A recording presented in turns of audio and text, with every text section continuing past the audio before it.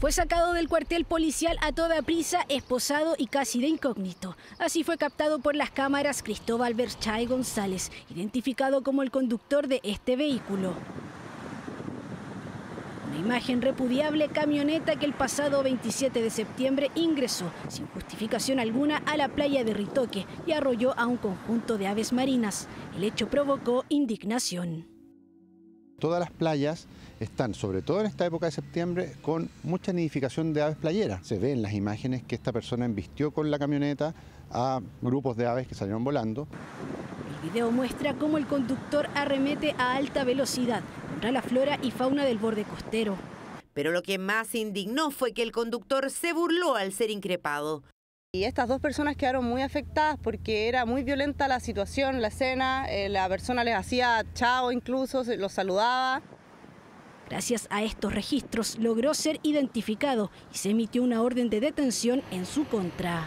Conforme al trabajo investigativo realizado por los oficiales policiales, decidió, en conjunto a su defensor, presentarse en forma voluntaria. Se presentó y, según me informa recién, fue tratado bien y no, no hay ningún cuestionamiento respecto de la orden.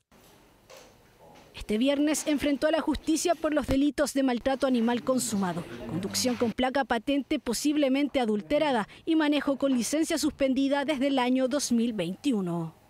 No es eh, menor eh, ingresar un vehículo eh, a una zona donde hay aves. Son varias aves, un número indeterminado porque no sabemos cuántas fueron, pero hay fotografías. Pero, ¿quién es Cristóbal Berchae?